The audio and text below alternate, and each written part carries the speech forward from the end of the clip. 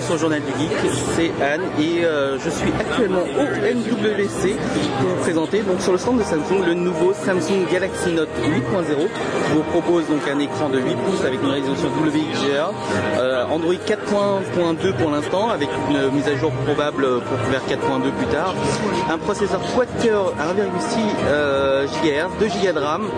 Et à partir de là bon 16 32 Go, un APN de 5 mégapixels avec euh, autofocus et un, une caméra visio de 1,3 mégapixels.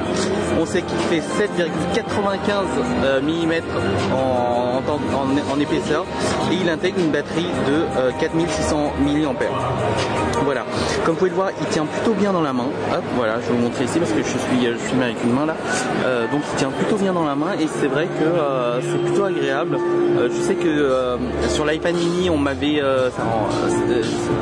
Apple avait intégré une technologie qui permettait de poser son pouce et là je suis quand même content de retrouver des bords parce que parce que voilà c'est une question de visibilité et c'est vrai que c'est pas mal. Au niveau du design, bah, pas de surprise, hein, c'est soit un Galaxy Note 2 géant, soit un Galaxy S3 encore plus géant, soit un Galaxy Note 10.1 un peu petit. Euh, et euh, sur Galaxy Note 10.1 pas trop parce que c'est vraiment le design euh, typique du Galaxy Note 2 et du Galaxy S3. Voilà donc à partir de là c'est plutôt pas mal. Et une des choses que bah, qu'on va tester hein, c'est tout simplement hop, je lance S Note et euh, c'est vrai qu'il réagit au doigt et à l'œil. Donc là je vous avais déjà écrit un petit message. Je continue avec un petit truc en noir pour vous montrer. Et c'est là où vous voyez que ça réagit super bien. Euh, alors ils ont fait beaucoup de progrès en termes de, technologie. Et euh, là-dessus c'est c'est assez impressionnant quoi. Voilà. Je crois que j'ai à peu près hop voilà je vais sauver le truc. Je crois que j'ai à peu près fait le tour bah, c'est une tablette qui est plutôt bien faite. Effectivement bon la résolution peut paraître un peu petite surtout que maintenant on commence à voir des smartphones de 5 pouces et tout ça avec du Full HD euh, mais dans l'absolu c'est vrai que euh, bah, ça, répond pas mal. Je vous montre par exemple pour l'affichage d'une page web. C'est en l'occurrence le journal du et vous pouvez voir que euh, l'affichage est plutôt pas mal, que ce soit en mode euh, portrait ou en mode paysage, euh, ça fonctionne assez bien, c'est assez fluide. Bon, ça, gagne un peu parce que c'est en train de charger là, mais dans l'absolu, c'est une tablette qui est plutôt plutôt sympa.